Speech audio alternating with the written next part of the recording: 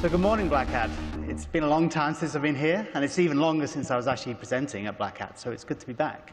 So yeah, we're going to be talking about Kerberos, the clues in the title. Um, just a very quick overview of who we are. If you don't know, I'm James. I work in Google in Project Zero, specializing in finding interesting bugs in Windows. Yeah, my name's Nick, and I work uh, in adversarial R&D at NetSPI. I also love finding bugs in Windows. So, so of course, this is only a 40-minute presentation. It's quite short in, in the grand scheme of things. So we have to make some assumptions about UV audience. First, that you have a reasonable grasp of how Kerberos works or what Kerberos is, because unfortunately we just don't have the time to actually go through that and tell you all the nitty-gritty details. We're also going to be doing some stuff which sort of is related to existing remote attacks in Kerberos. So having familiarity with those sort of parts of Kerberos is quite useful as well. And this is not a talk about attacking Kerberos remotely. This is all about privilege escalation on the local machine. So if that's not really your thing, then unfortunately it may not be the talk for you. So let's actually start with a bit of a backgrounder on where we're going to go with this presentation. So Kerberos is designed for authenticating remote clients to remote servers. However, in Windows at least, there's nothing actually stopping you using Kerberos to authenticate to the same machine. So when you log on to your Windows machine, domain join Windows machine, uh, you make a request out to the, the key distribution center uh, with, your, with knowledge of your password, and that generates something called a ticket granting ticket. And this is then used to uh, make authentication requests to other services. Inside that ticket granting ticket is something called a privileged attribute certificate, or PAC. And this contains basically your user identity. It contains who you are, what group you're a member, member of. So when we want to actually do Kerberos authentication, we wouldn't actually just physically go out and use TCP sockets to talk to the KDC. Instead, we'd use something called the SSPI interface, which is a way of communicating between user mode and LSAS, which, or the LSA, which is our local security authority, which is where basically authentication happens on Windows. So what we'd usually do is call the function initialize security context. And this would make a request to, to the LSA and call into the Kerberos DLL, which is running inside the LSA process. It takes your TGT, and you say, OK, I want to make a service authentication request to a local service, please. So for that, you need something called a service principal name. And this is like a descriptor of which service you want to talk to. So in this case, we're going to host slash ABC, which is a service principal name which is owned by the current system. And Kerberos packages up this request into a ticket granting server request packet, sends it to the KDC. The KDC takes that service principal name and uses it to look up a long-term key.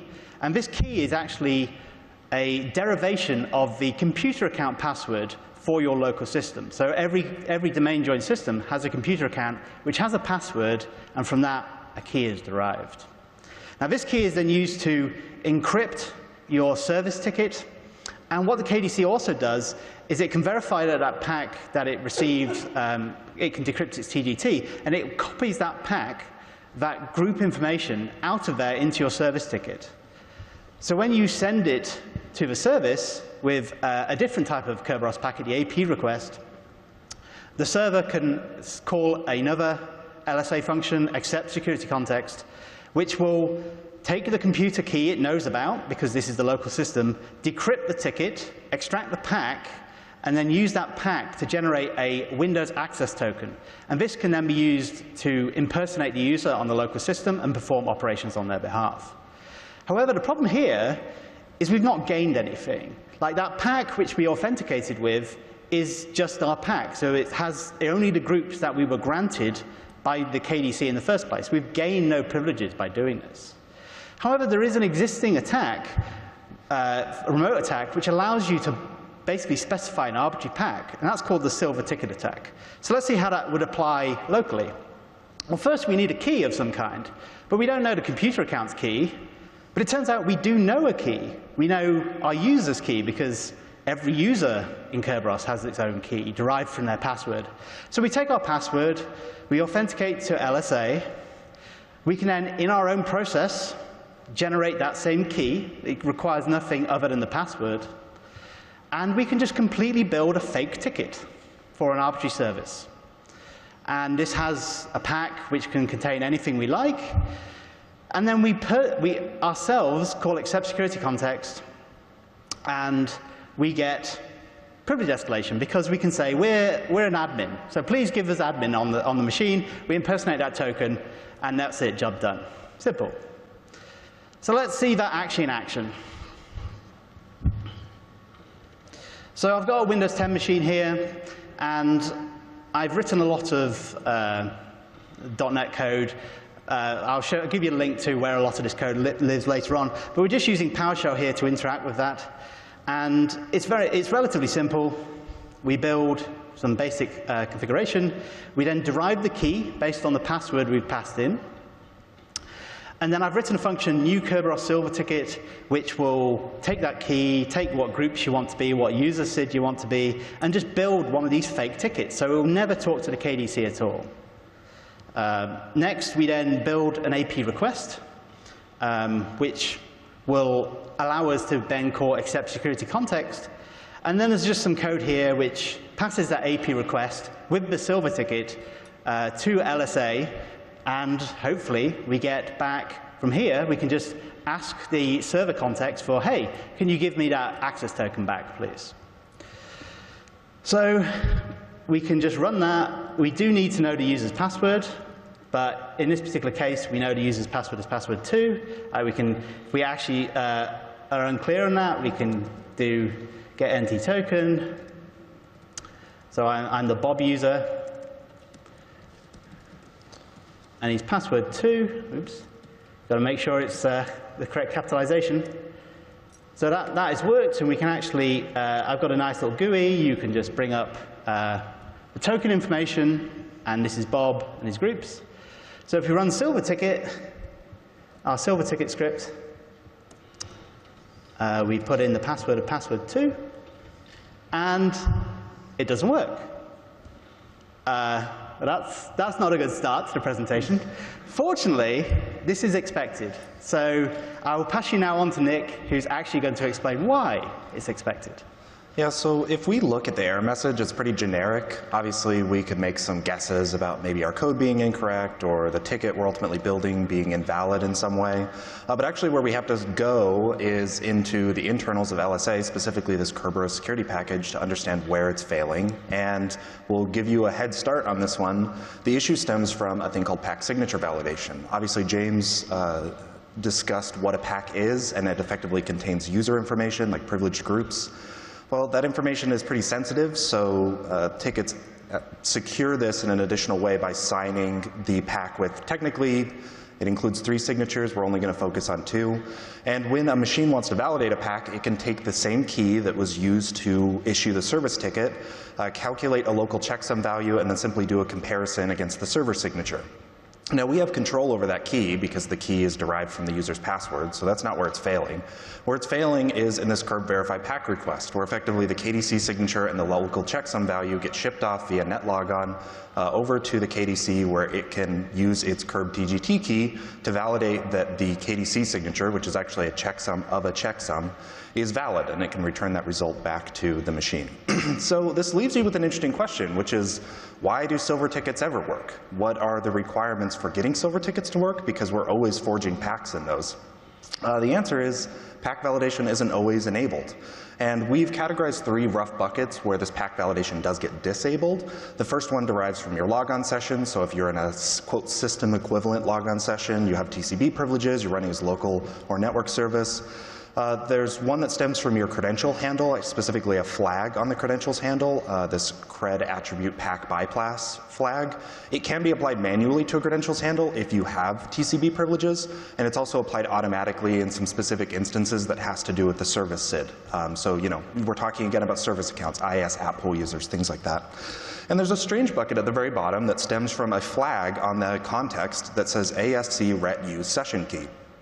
Now, if you go into MSDN, you get a really generic answer for what this flag ultimately does, and it has something to do with keys derived from keys, but we certainly want to start digging into this because it seems like something we might be able to control. Luckily, if we jump over into 4120 of the Kerberos RFC, we can find references to a flag use session key that's applied in APREC messages, and it effectively says that when this flag is in use, the ticket is encrypted with session key um, from the server's TGT rather than the server's secret key or its long-term key. Um, they refer to this as user-to-user -user authentication. So for the remainder of the presentation, you'll hear us say user-to-user -user or U-to-U.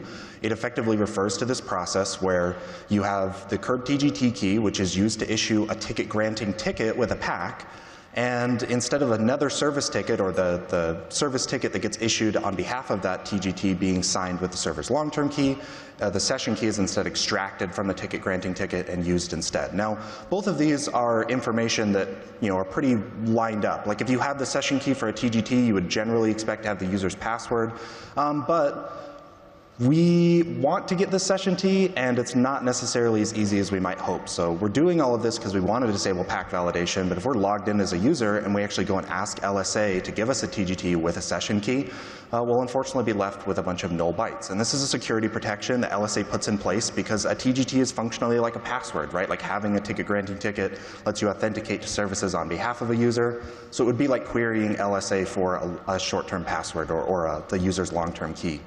Lucky for us, this problem has already been solved in some form uh, by a trick called TGT delegate um, or unconstrained delegation TGT extraction.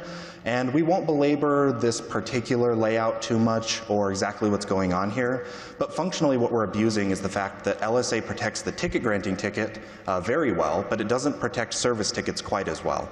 And there are particular instances where a service ticket is marked for uh, effectively a delegatable ticket, and it will embed the entire TGT and session key of the target user into that ticket. So we can effectively ask initialized security context to build us a service ticket for any service on the KDC. That host is marked with unconstrained delegation.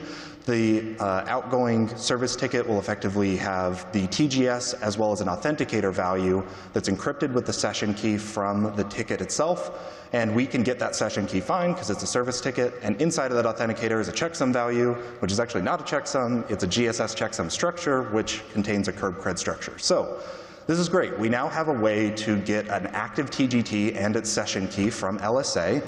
And we also believe that the use of this session key when we're signing our silver ticket should result in arbitrary pack data bypassing validation. So the last question we have to ask is, what are we actually going to do to the PAC to get admin? We know the PAC is critical. We know it contains critical information. Uh, the substructure we're going to focus on is this logon info structure. It effectively contains all of the information for what RIDs and the domain SID, effectively all the IDs that locate uh, or identify user privileges. So the ones up top are pretty self-explanatory. You also have extra SIDs and resource domain SIDs. SID filtering, if you've heard of that before, applies to all of this, and there's a lot of nuances there, which James has uh, uh documented out there. But for the most part, we're actually just going to focus on adding arbitrary group RIDs. So we can add things like the 500 and 512 RID, which apply to the domain SID that the user is in. And functionally becoming domain administrator on most local machines would also make you regular admin. So I'll pass things back over to James, and he's going to see if we can get pack validation disabled properly this time. So yes, we can um, go to another demo. So in this particular case, it's user to user. Okay, so it's pretty much exactly the same code as we, have just seen. Uh, the main crucial difference is we call a function I wrote get user TGT, and that performs basically that exact attack that Nick has just described, where you uh, get a delegation uh, AP request, decrypt it, and return the TGT with its own session key. Um, we can then extract the session key from that, and this will, of course, be now non-zero. And then instead of our long-term key, so of course at this point we no longer need the password, so that's kind of a useful benefit as well of doing this, that you no longer need that user's password to perform this attack. Uh, you can call the new uh, Kerberos Silver Ticket function with the session key instead of the TGT, uh, instead of the password key, derived key. And then basically almost everything else is exactly the same. Uh, we make sure that the local Kerberos ticket cache has our TGT just to make sure that it's definitely going to use our TGT rather than one of the other TGTs the user has. And then we just uh, call accept security context with our silver ticket, and hopefully it all just uh, works magically. So we come back to here, and as I say, we don't need to pass a password. The uh, script itself will always set by default, uh, we want to add domain admin groups. Domain admin groups is useful because we can't admin, due to SID filtering, we can't add the local admin group. But if we add the domain admin group, then by default, all domain joined machines have local administrator, the local administrator group contains the domain admin group. So that will give us domain admin. We also make sure that we set the integrity level to medium. Um, close that down. And we run that. And no errors. Hallelujah, right? All right, I think we're done. Um, so yeah, I think that's the end of our presentation. Thank you very much for coming. So uh, we can see possibly in here, um, or I can just show it here. I can do get NT token groups, and from token, and we can see that we are now built-in administrators. So what's not to like? Um, so my tooling has an invoke NT token function, uh, which takes uh, an, an, access token and will impersonate it for you and run a PowerShell script while impersonating that, that script. So we can go and try and write to, say, the Windows folder. Set content, uh, Windows, test.txt. And so this should have now given us privilege escalation. However, We've now got another error. And again, unfortunately, this is, this is not intended, but is unfortunately a byproduct of what we've done. And it's all talking about impersonation levels, and that's, that's not usually a good sign. So let's pass it back to Nick for, uh, to continue the discussion. All right, we're getting closer here, um, and I'm actually going to pull out an old diagram. It's one of my favorites of James, where uh, he's meticulously laid out all of the uh, flows for checking whether or not one particular uh, entity can impersonate a token. Um, now, this is a long list and they sort of feed into each other, but we can certainly start going through it and thinking about where we might start running into issues with this token that we've built. Well, up first, the token level being under impersonate doesn't imply here. We also don't have SE impersonate privileges, so we wouldn't get the immediate bypass. Uh, the token IL and the token user can both be controlled by the pack, and when James was looking at it, everything looked fine. Like it said we were domain Bob, uh, the, the token integrity level was medium, we just had domain admin groups on it.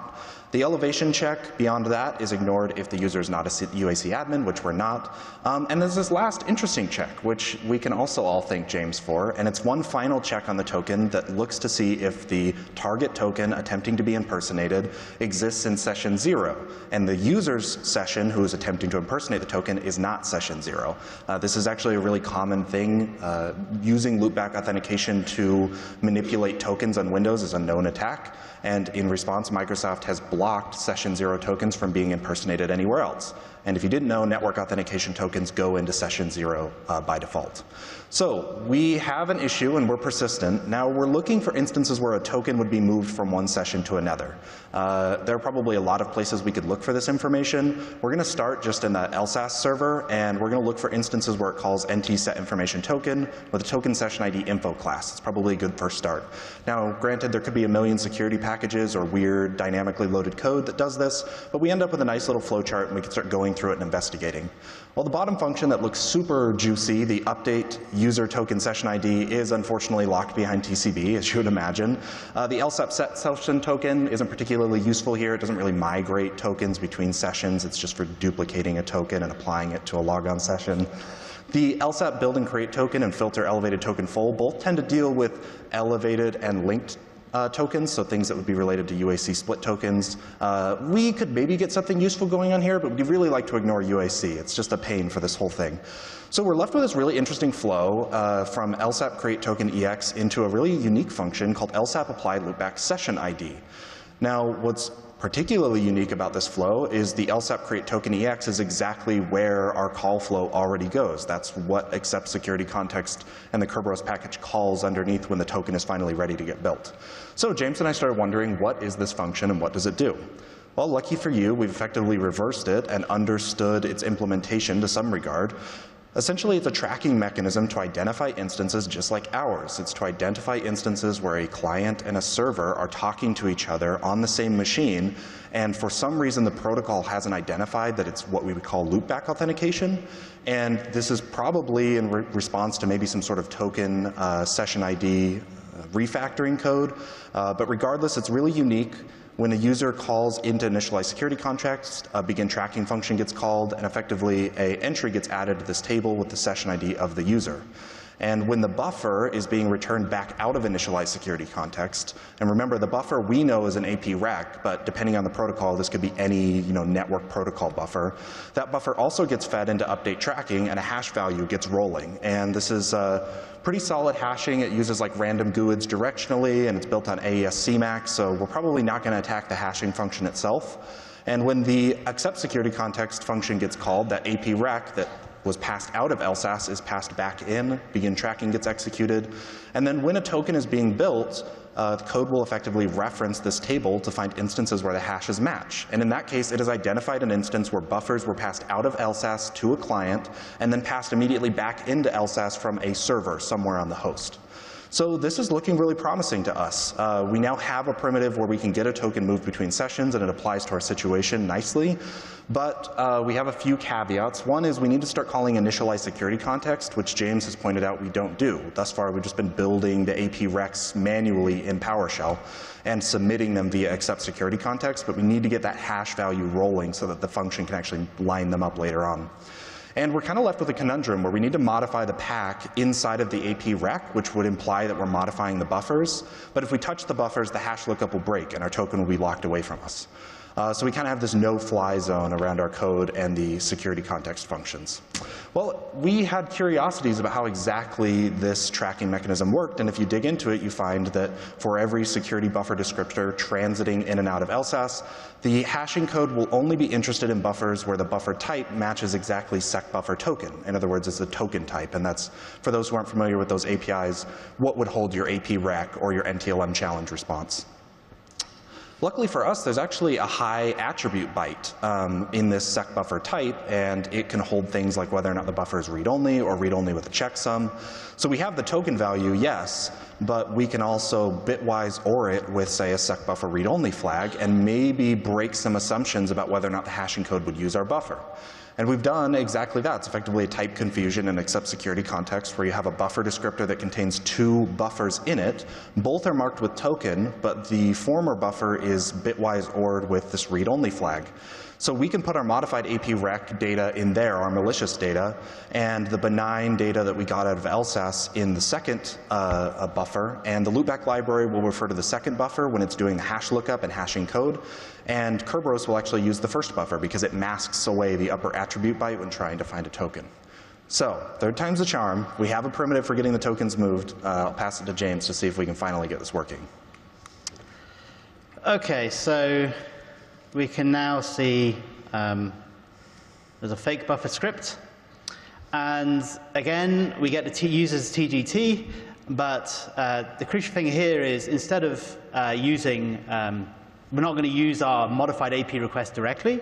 Instead, we create this fake client for our AP request. And then we actually have to call, as Nick said, initialize security context. So we both set up a client and a server authentication context to talk to LSASS. But the crucial thing here is we have to do a few updates because user to user actually has like a few ancillary tokens that we need to make sure are negotiated. But once that's over and done with, uh, we can actually then build two security buffers. The first one, which we want Kerberos to see, is type token, but is read-only and contains our fake AP request with our silver ticket. And then we build an LSA buffer, which we want the LSA hashing algorithm to, work, uh, to see. And because the LSA code doesn't know anything really about the package it's talking to, it just goes, oh, okay, I'll just, I'll just hash that one. It gets mistaken and only hashes the one we give it. And so hopefully this should then actually uh, allow us to get a token in our own session ID.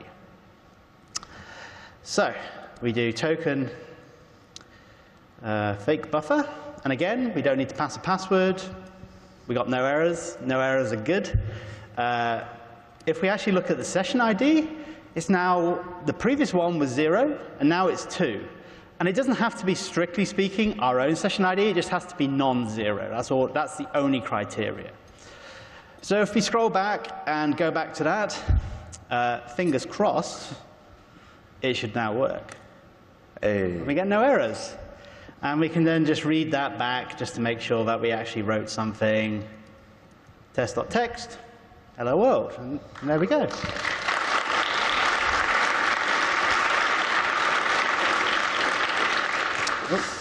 All right, this is well and good, but James and I aren't ones for uh, uh, leaving it there when we discovered in Windows 11 that in the loopback hashing code, they actually mask out that upper attribute byte, so they're doing things properly. Uh, we're not entirely sure why. We have our suspicions this was due to some refactoring code, and we actually think that it was maybe fixed in Windows 11 as a response to other refactoring and not actually a security fix, which is why it hasn't been backported.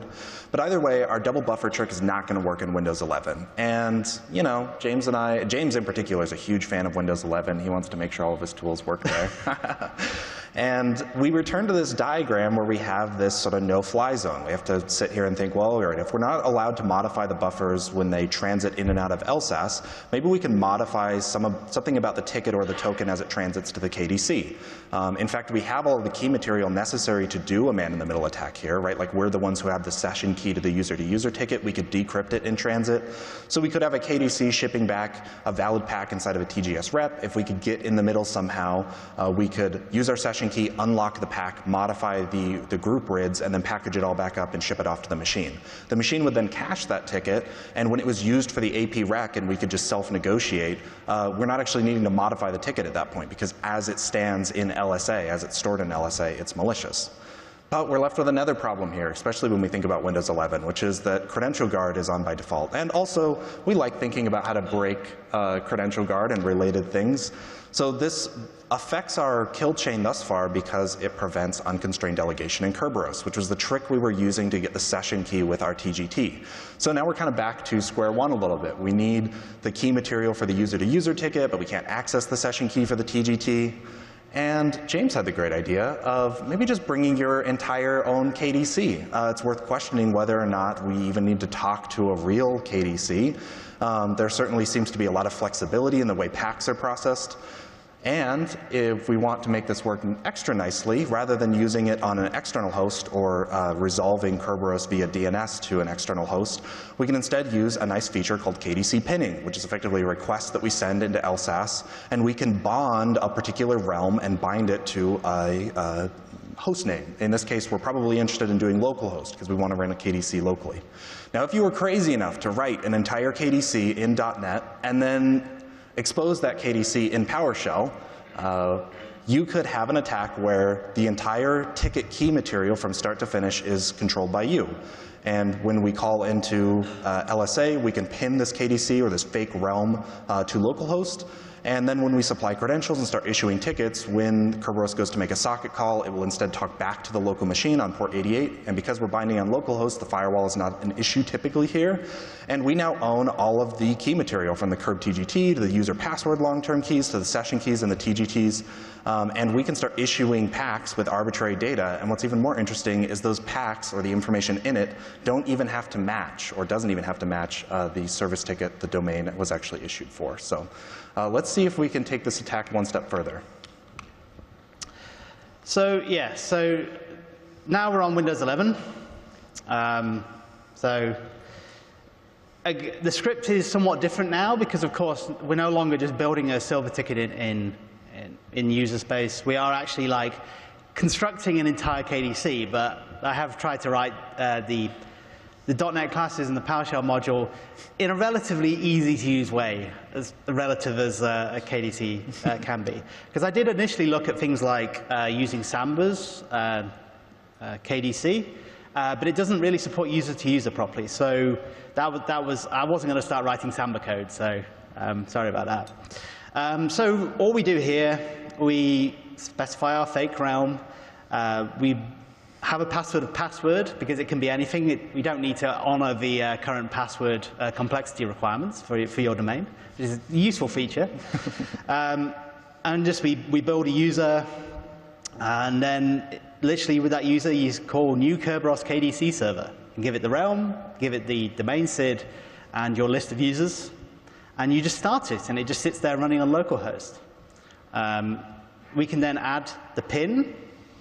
So we pin that realm, so any request by LSA in our current, from our current thread and process uh, for that realm will go to actually localhost, so we'll go to our local KDC. And then we pretty much just do a standard loopback authentication request. Uh, we have to pass our fake credentials to LSA, but it will, it will quite happily like use those and go, oh, a pin. I can just talk to the KDC on localhost. No problems. And then we get the, access token at the end, and hopefully everything's good. So just to, just to prove that I'm not cheating, um, we call get computer info, and one of the properties in that is device guard. Uh, where is it? So security services running. So we're running credential guard. And if we actually run our previous one, um, so because we got that, we can't actually uh, get the user's TGT. So there is a, a, simple get user TGT script I've written just to uh, do that attack. And we can't get the delegation TGT. OK, so our current attack vector is, is, is, at, is a problem. So instead, we run our KDC attack. We run that. No errors. Always a good sign. Uh, we have session ID of two. Uh, we can see our groups. Uh, we are a main member of the built-in administrators. Awesome. And so we can obviously impersonate this to verify that we've actually got privilege escalation by by credguard. Set content, Windows, uh, cred.text and no errors. So, just to check that again, I'm not, no sleight of hand, bye-bye CredGuard, and we've basically done it even with CredGuard enabled without ever knowing the user's password.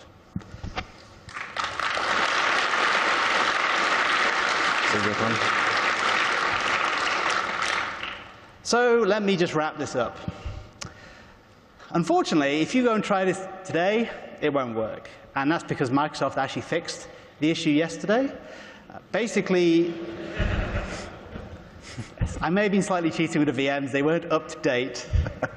um, so they basically, what they've done is they've effectively removed that user-to-user flag check.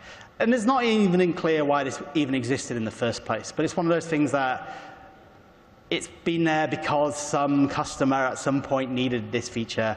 Uh, it, it, can be re-enabled by changing one of the configuration knobs in Kerberos. Um, you can just go into the Kerberos DLL and find out what the name of that is. As far as I know, it's undocumented at the moment, because uh, it's probably one of these things that Microsoft will only tell you about if you have this particular problem in, a, in an enterprise environment. Um, so effectively, our um, attack has gone, which is a bit of a shame, but this is the whole point of security research, is to get things fixed. But of course, there's possibilities that these types of bugs will happen again. And we sort of thought about, OK, what sort of mitigations can we kind of think of here? And none of them are perfect, but you can, you can apply some of them in an enterprise environment. So the first one is there's a, there's a flag. If you look back at that previous slide, um, you can, if you're a, a non-system service, so you're like a, a, sort of an IIS pool user, or you're a virtual service account, uh, you can still bypass pack validation by having the service SID as one of your groups. Um, but you can actually disable that feature. So there is a configuration knob for Kerberos which says, actually, no, turn this off because it's, it's bad for me.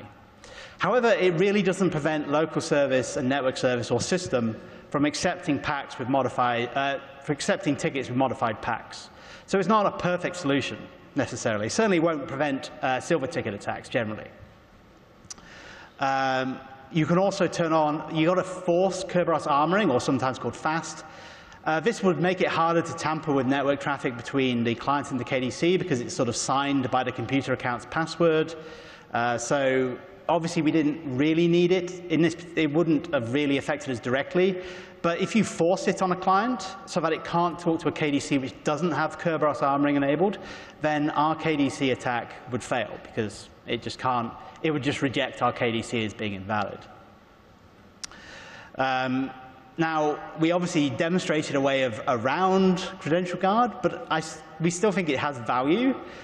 Like, there's plenty of things that you can do with that TGT session key that are probably perhaps not even realized at the moment, and there's already some attacks.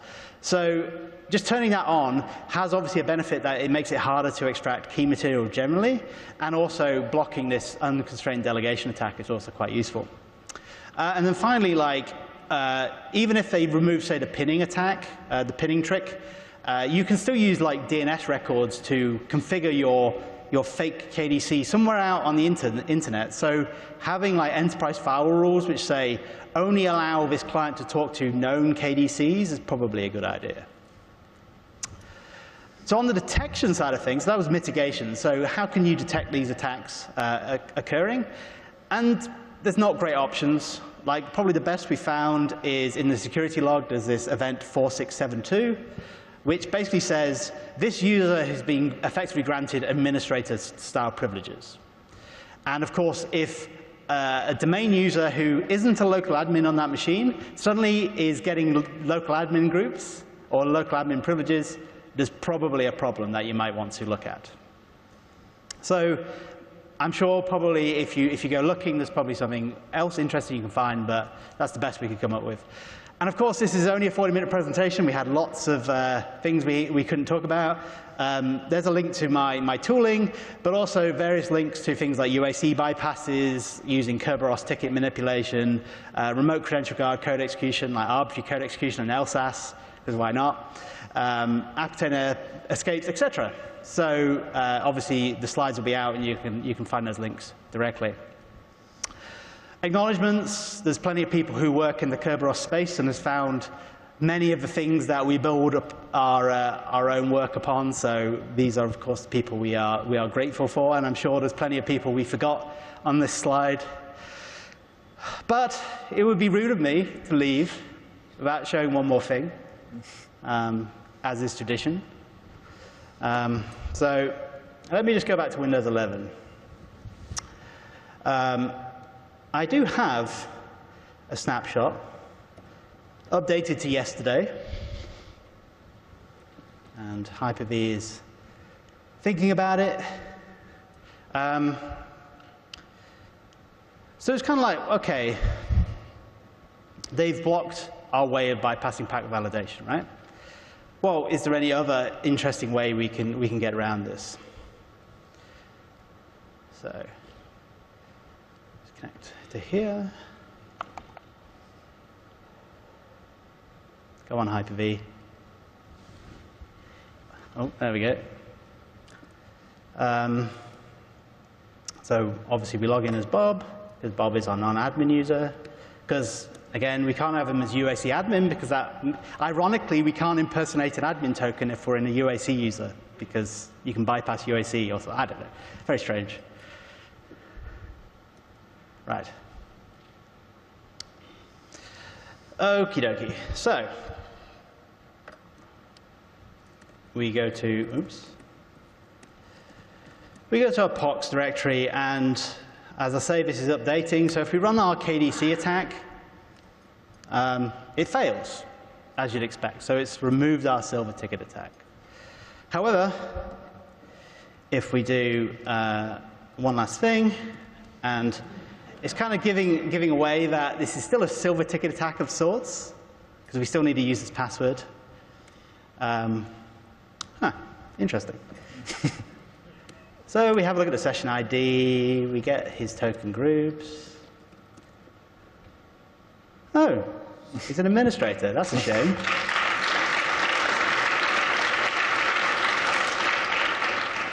and just to prove a point, um, ha, ha.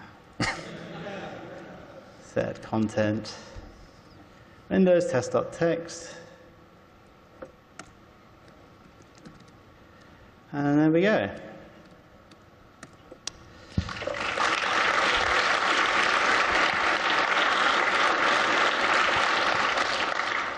So before anyone asks, I did report that to Microsoft yesterday. um, unfortunately, it's one of those things that I couldn't really report it because I didn't know whether it was a bug until they fixed the bug that we were bypassing to fix. Anyway, needless to say, um, it was a bit of a last run thing.